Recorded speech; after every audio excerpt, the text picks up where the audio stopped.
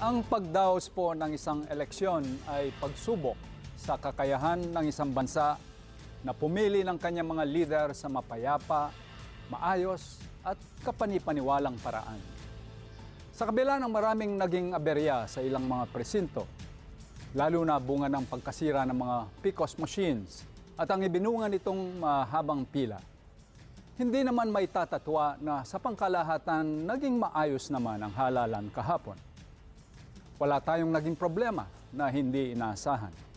Kaya't bukod sa mga nanalong kandidato at yung maluwag na sa loob na tumanggap ng kanilang pagkabigo, nararapat lamang siguro na ipagbunyi ang mga botanteng Pilipino. Ito po tagumpay nating lahat. Tagumpay po ito una sa lahat ng COMELEC na naging matatag kahit pa umani ng katakot-takot na batikos bago pa man ang eleksyon. Dapat din kilalanin ang katapatan ng mga teacher na namahala sa mga presinto.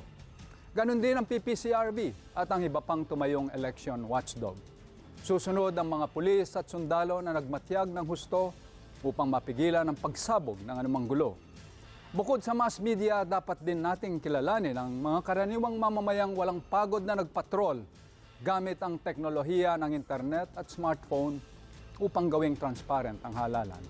Gayunman, nakita po natin na marami pa tayong dapat ayusin bago natin matamo ang tunay na panlipunang pagbabago.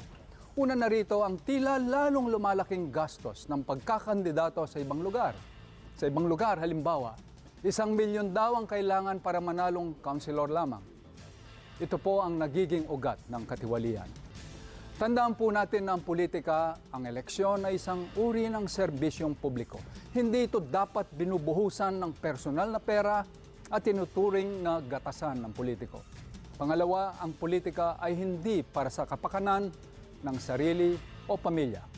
Ito'y para sa kinabukasan ng buong sambayanan. Pangatlo, ang halalan na hindi pamilihan, hindi po ito market. Isang kasalanang mortal laban sa ating mga anak na ibenta ang ating mga boto. Hindi dahilan ng kahirapan upang ikalakal ang ating mga boto. At panghuli, gaya ng sinabi ng isang bayan patroller, sana na may matuto tayong gamitin ang ating mga utak at hindi ang ating mga palad sa pagpili ng ating mga lider. Maraming salamat po. Magandang umaga sa inyong lahat.